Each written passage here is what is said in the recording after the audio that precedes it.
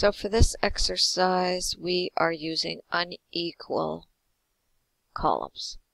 So select the text, click on to Layout, Columns, More Columns, and just match these settings. And just notice that right now we have equal, well actually if I put it to 2, I would have two equal columns.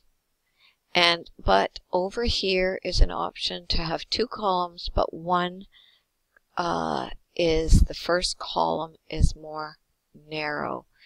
So I've actually matched those settings and when you click OK,